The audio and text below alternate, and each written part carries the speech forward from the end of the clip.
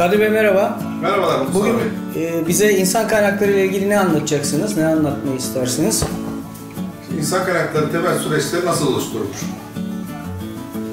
Bir firma ilk defa insan kaynakları süreçlerini oluşturacaksa ilk önce firmanın hedeflerinden ve stratejik plandan yola çıkarak ne tür pozisyonlar olacak, ne tür görev tanımları olacak bunları belirlemesi gerekir.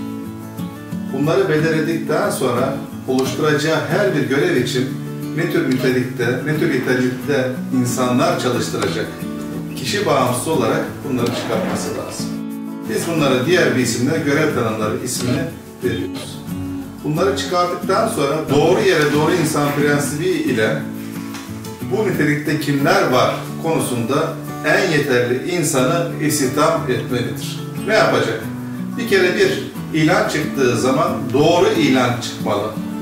Doğru ilana doğru adayı bulması için ne tür başlıklar yer alacak? Tek tek bunları ilanda yer vermelidir. Örneğin bir mühendis alacak. Mühendis hangi okul mezunu olacak? Ne tür yeterliliklere sahip olacak? Tecrübesi ne olacak? Ve nasıl bir görevde yer alacak? Adı adım bunların hepsini ilanda yer vermelidir. Daha sonra şirketlerde gördüğümüz ikinci önemli kavramlardan bir tanesi de görüşme yapacak kişilerin bu başvuru yapan kişiler ile ilgili yeterli bilgiye sahip mi? Bunu ölçebilecek nitelikte insanlar mıdır, değil midir? Bunların karar verilmesi gerekiyor. Şimdi insan kaynakları departmanları ilk görüşmeyi yapar ama teknik olarak yeterliliğe sahip olmadığı için yalnızca bu fonksiyonların yerine getirebilecek ölçümleri yapacak departman olacaktır. Uygun gördüğü adayları ikinci görüşme için ya da üçüncü görüşme için ilgili departmanları yönlendirmeli ve yönlendirmenin sonucuna göre hakikaten bu pozisyona uygun mudur, değil midir bunu takip etmelidir. Peki iş arayanların en çok e, merak ettiği ve rahatsız olduğu şey biz sizi ararız lafı. Bu lafın arkasında ne var? Biz sizi ararızın arkasında aslında şirket e, iş arayan elemana ne diyor? İş arayana ne diyor? Şimdi sektörde görülen en önemli bir konuya parmak bastınız Mustafa Bey. Şirkete başvuru yapıyor ama insan kaynakları departmanı biz sizi ararız. Ne zaman arayacak?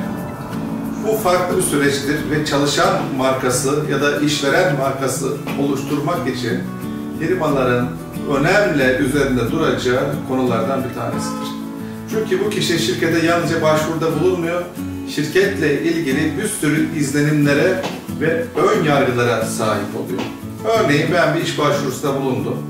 Bulunduğum zaman dolduracağım iş başvuru formundan tutun da görüşme yapacak kişinin benimle yapmış olduğu görüşmeye kadar bir sürü izlenimler o kişi hakkında, o firma hakkında farklı farklı sonuçlara yer verecektir. Bunun için de görüşme yapan kişinin bir kere bir yetkin kişi olması lazım. İki, işi iyi anlatması lazım.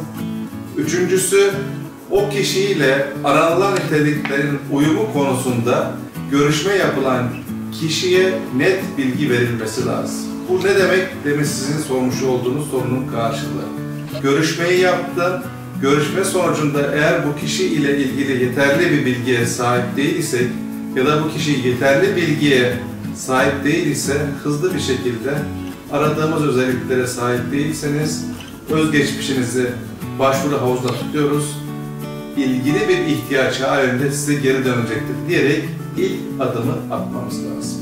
Atmaz isek tutmuş olduğumuz havuzda ne zaman görüşme yapacaksak bu kişiye bu tarihte sizi ikinci görüşme için firmamıza davet ediyoruz diyerek geri dönüşte bulunmamız lazım. Her bir şekilde ya uygun değilsiniz ya da görüşmeye çağırıyoruz diyerek geri bildirim yapılması olmazsa olmaz süreçler için önemlidir. Yapmayan şirket konusunda sizin de söylemiş olduğunuz gibi biz sizi ararız ama ne zaman arayacaksınız hiç belli değil. Bunun kesin ve tarih olarak kişiye bildirilmesi gerekli olduğunu düşünüyorum. Yani firmalar iş arayanlara biz sizi ararız e, demesin. Kesinlikle demesin. iki şekilde geri dönsün. Ya uygun değilseniz ama uygun değilseniz de doğru kelimeleri ifade edilmesi gerekir. Uygun ise de bir sonraki görüşme için bu tarihte sizi görüşmeye çağırıyoruz diyerek geri bildirimde bulunması gereklidir diyerek düşünüyorum.